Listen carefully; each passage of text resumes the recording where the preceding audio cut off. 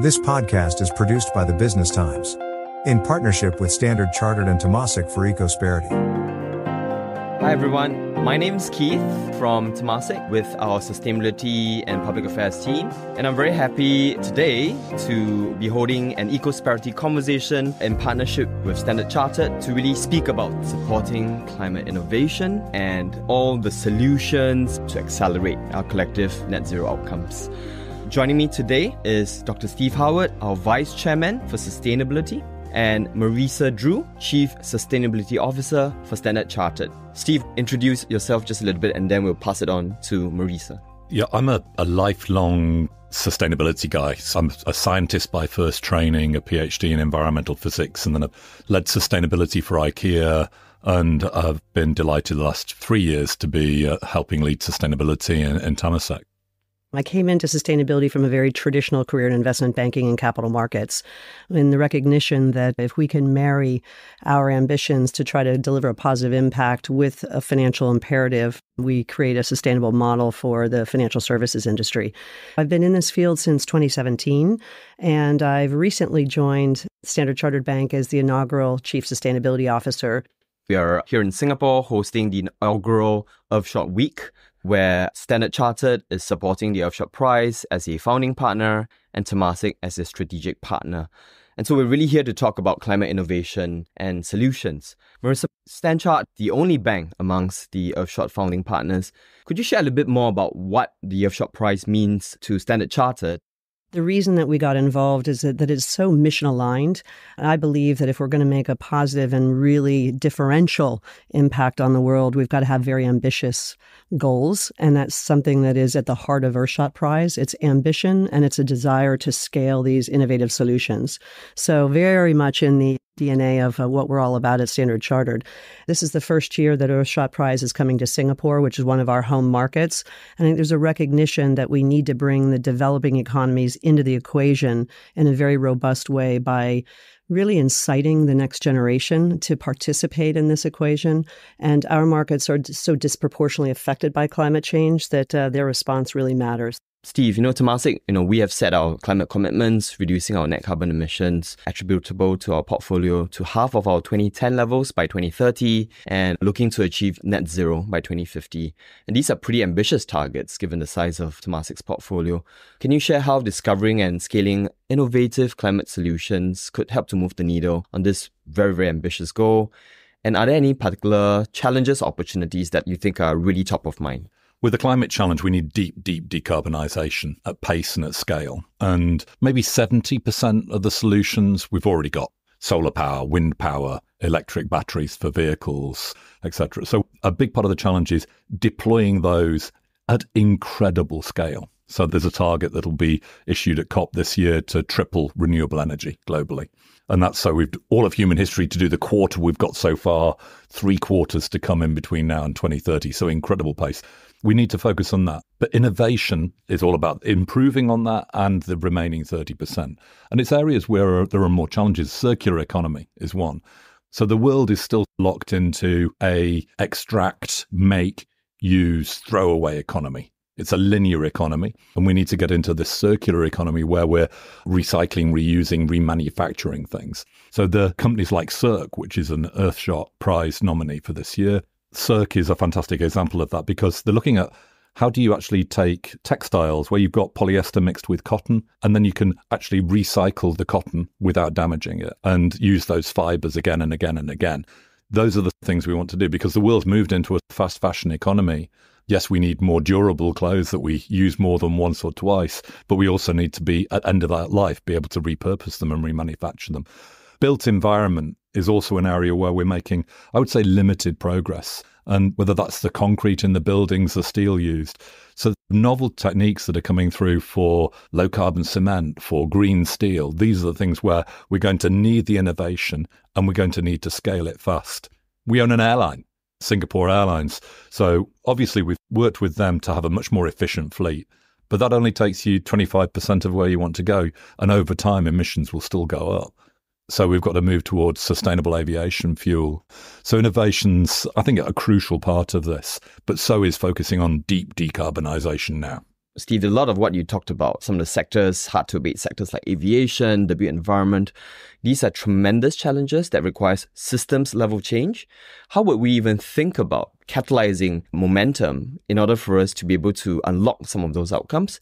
And from Temasek or from an investment perspective, where would you even start to think about financing such innovations and solutions? Innovation isn't just a technology challenge. So we need public policymakers to be innovative people in procurement to be innovative. You need policy frameworks that put prices on carbon, that create incentives for good solutions. And then you need business innovation and investment alongside that. We all need that innovation and disruptive change mindset. As an investor, you've got to have a thesis. So we're a trend aligned investor where we look at climate change and sustainability as a mega trend that will shape all of our lives and beyond, long into the future you have to know that the world is going to go to a net zero world, hopefully by 2050, but the direction is nearly inevitable. So we're going for solutions that are breathtakingly efficient, that are based on clean energy, that use nature as a platform, that are fully circular. So, as an investor, getting deep into that mindset and then mapping all of the technology developers out there, really understanding what can work and where the market's going. And it's super exciting because it's not just about financial returns, it's about people and the planet at the same time. Marisa, what are you seeing your clients deal with in terms of the challenges and the opportunities? And how are you helping your clients really be able to transition and path their way to net zero? Well, before I answer that question, it's a wonderful segue from some of the points that Steve raised, which is oftentimes when we think of innovation in the climate equation, we think of deep tech or technological breakthrough solutions. But there's also business model innovation, sometimes very simple solutions applied in a different way. For instance, seaweed farming is one of the finalists this year. Now, seaweed farming as a concept isn't deep tech, but the application of the use of seaweed in something like animal feed, which can reduce methane emissions in a pretty material way in the beef industry is a massive differentiator potentially in terms of climate change mitigation. We are a very large trade bank, so we help the movement of capital from east to west and vice versa. And oftentimes, when you think about the end of a supply chain, the large global buyers of goods and services, they want to know if they're going to deliver on their own net zero commitments, which are very complicated if you're in a very long supply chain. You want to know that all of the various players along that value chain are employing sustainable practices very difficult thing to do when you're talking about four or five levels down. Those are the sorts of innovations that we're participating in helping our clients think through this sustainable supply chain finance. And that helps to uplift small and medium enterprises when we share with them what are best practices that will allow them to participate in the global economy going forward. That is one that, as Steve talks about, is truly a sustainable economy. So, sustainable supply chain finance is one big area we can participate. Another is in infrastructure finance. If we are going to completely and wholly holistically change the energy systems, especially in some of the developing markets today, which are in many cases 100% dependent on coal, we are going to need massive amounts of investment, billions and billions of dollars in renewables infrastructure, and also an entire system of a new way of delivering that energy through new grids. And at the same time, we're going to have to figure out how do we quickly get off or decommission coal in those same economies. So there we employ a different form of financial innovation, and that is the notion of generating carbon credits to help pay for some of the activities that we want to incent, whether they be natural capital solutions or something like early coal decommissionings. Innovating for climate. An Ecosperity conversation continues in a moment.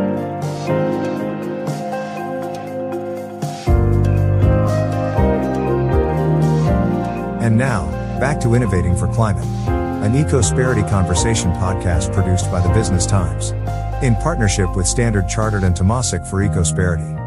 If we can sort of look forward to COP28, what do you think are one or two key climate action outcomes that you think this COP would be able to unlock or realize that could accelerate? So, two areas that I would point to are first, the concept of adaptation finance. We've talked a lot about carbon emissions reduction and financing that mitigation, but we equally have to recognize that no matter what we do and no matter how fast we do it, we are going to have to live with the realities of climate change. And that's going to require us to adapt. And that's going to require hundreds of billions of capital. And the sooner we put that capital to work, the quicker we avoid exponential loss and damage due to the effects of what we're seeing play out right now. We need to define what adaptation finance means, and then we need to create a framework in order for the financial system to begin to participate in this and think about it in a commercial way. We've got to deploy the capital toward adaptation finance. We know that if we can do that within the next decade, there will be a 12 times return in terms of loss and damage avoided if we deploy that capital quickly. The second topic is back to carbon markets. Today, the markets are highly fragmented. The pricing of carbon is quite wide. And when we talk about the what we say bid ask spread.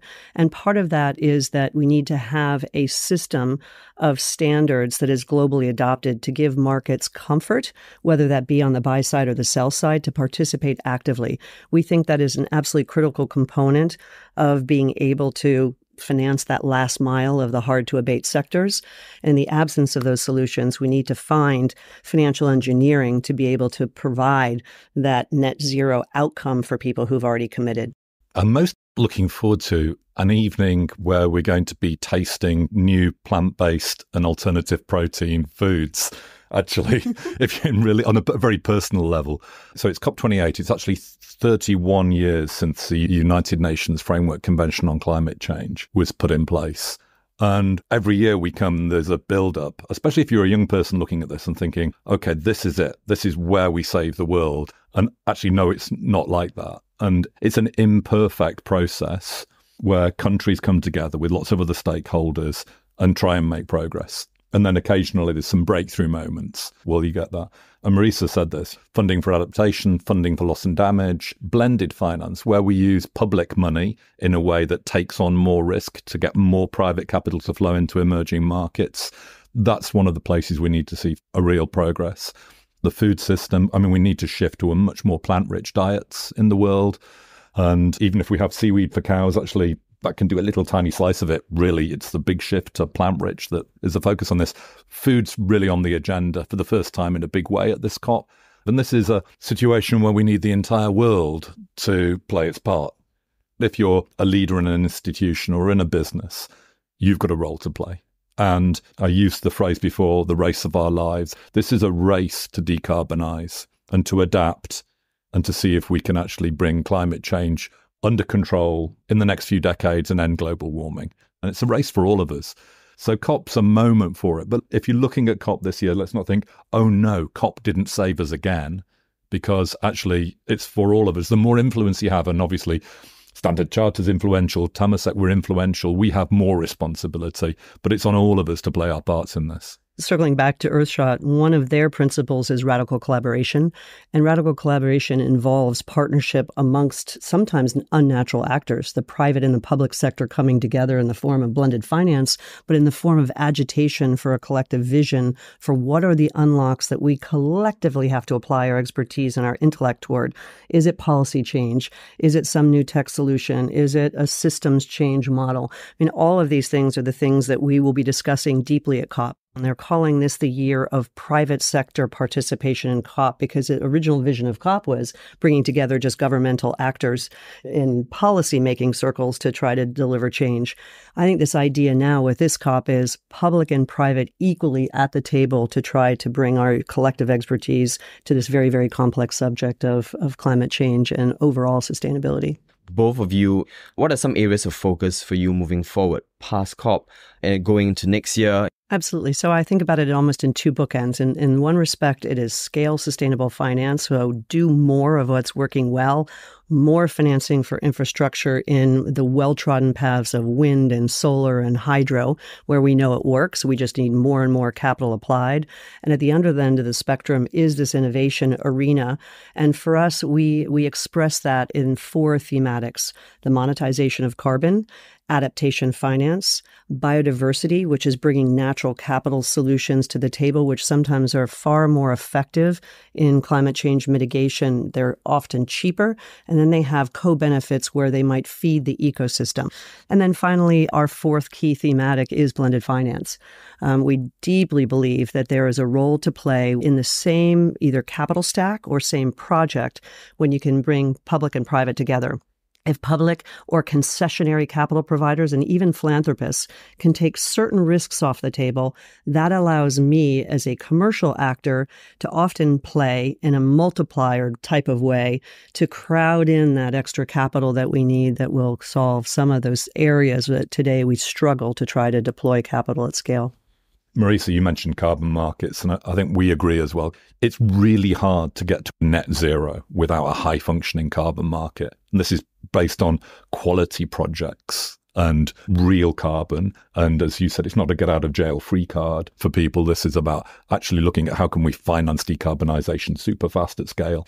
So with a platform we set up GenZero, which is dedicated to helping finance those solutions that's only just over a year old. It, we launched it in, in June at Ecosperity in 2022.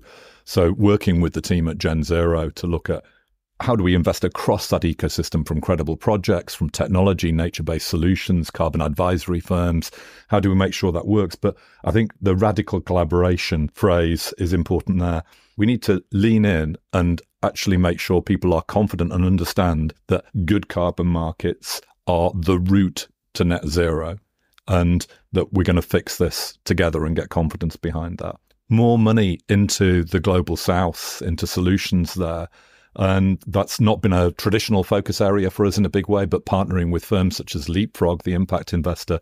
I'm really excited. We've been developing a climate strategy with them, which we'll roll out together with them in, in 2024, helping bring finance to the growth companies that can actually reach out to the poorest consumers there to bring them energy access, clean energy access, clean mobility access, and things for the first time.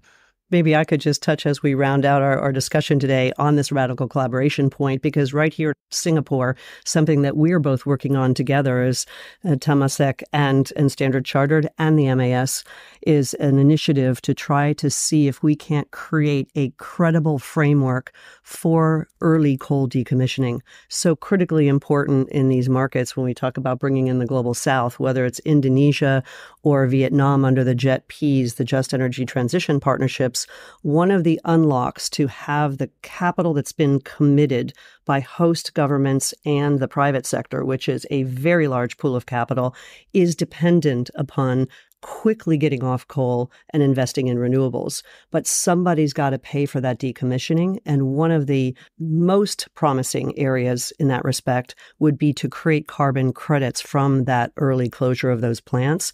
And that's an initiative that we're working on in collaboration and in partnership right here, right now. Who knew a regulator or a government could participate with an early stage investor and a large bank all in the same pursuit of that common shared objective? The other thing, obviously, we've been working on for a couple of years together is climate impact exchange. Yes, yes. Standard Chartered Temasek with SGX and DBS involved. So, really setting up a new regional carbon exchange, which is looking at first of the kind credits. So, how do we have new projects coming through, but you have really high transparency That's about right. the standards that are used, the credibility behind it, so you can have high confidence in the carbon credits that you're buying. CIX is a fairly early but very promising initiative and that's been I would say it's a it's a blood, sweat, and tears for all of us Indeed. as uh, as founding shareholders, but leaning in to help the team there set that up and deliver something. And I think we've all got to be prepared to form these novel partnerships, put sweat equity. Reputational equity alongside financial equity involved in projects and take some risk on doing some things that are, where success isn't guaranteed. And and we're in the era where we really need to to lean in and make sure we're fully present there together. Well, That's right. As a capital markets professional of 35 some odd years, what is very clear to me is that anytime you want to scale a market or an asset class, you need to create confidence. Take some risks, turn competitors or what traditionally are rivals into partners, and have some great plant based foods. uh, there's so much going on, and there's so much optimism, and there's so much to look forward to. Thank you so much to the both of you for anchoring this really interesting session. Thanks, Keith. A pleasure. On behalf of Temasek, thank you, Steve. Thank you, Marisa, and to our listeners on the podcast, thank you. This was a podcast produced by the Business Times in partnership with Standard Chartered and Temasek for Ecosperity. Find more BT podcasts at businesstimes.com.sg slash podcasts or wherever you get your podcasts.